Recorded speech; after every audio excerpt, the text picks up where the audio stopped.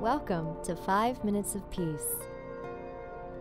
A time for you to reflect, recharge, and renew. 5 minutes for you to learn more so you can be more and do more. Just the time you need to awaken something within yourself. This podcast is created by the Peace Room. Love a Reiki healing and training center in Boise, Idaho.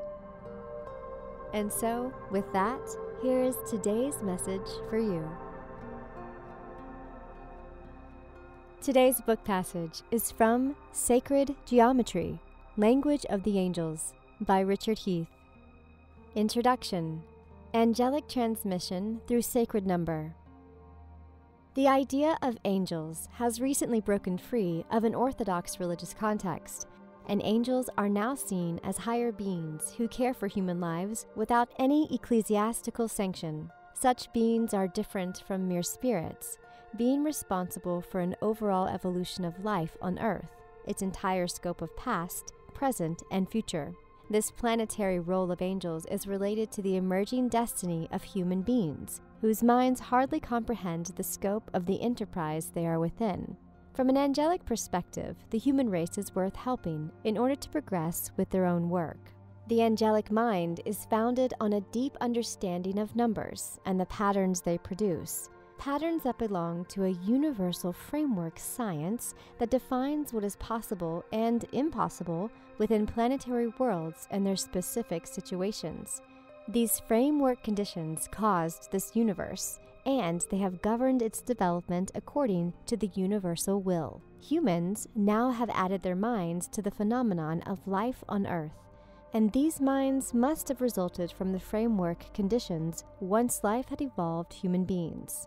That minds should arise on Earth is then probably no accident.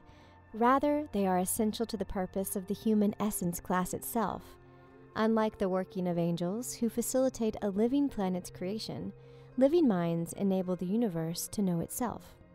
We are microcosms, or small resemblances of a greater whole that can know nothing without our minds. The universe, macrocosm or greater whole, must grow minds to become self aware. The minds of angels, on the other hand, differ from ours in their furthering of Earth's evolution. Angels are part of the universal will to create the universe. In contrast, human minds are part of the developing self awareness of the universe and a stepping stone toward human transformation into the cosmic individuality. Though an exact science has emerged through human civilization, this is significantly different from the universal science of angels. For a start, the mind of an angel differs from that of a human. It is inherently top down, thinking as it does about harmony within the universal framework conditions.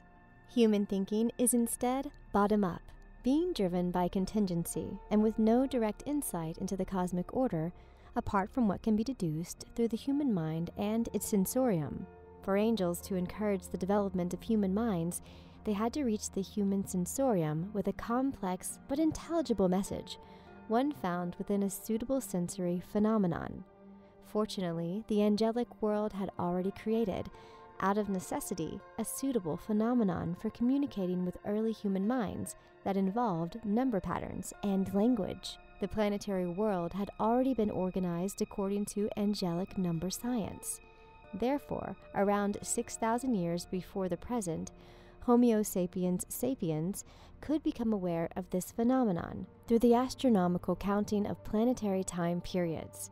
A prehistoric human science then emerged that was based on angelic science and that would be influential in developing the human mind and civilization.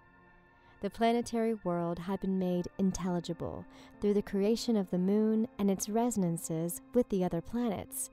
This had been necessary for life to arise on Earth but these resonances could now be recognized from the Earth by the simple counting of days and could be seen as being based on the properties of numbers.